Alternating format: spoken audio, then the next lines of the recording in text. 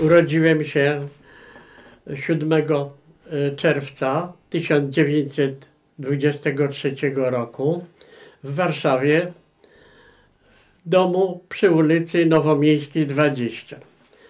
Ta kamienica już nie istnieje, ponieważ w tej kamienicy przed wojną mieściły się resztki barbakanu i obecnie w tym miejscu jest zrekonstruowany barbakan. Z tego ja mogę powiedzieć dumnie, że urodziłem się w Barbakanie.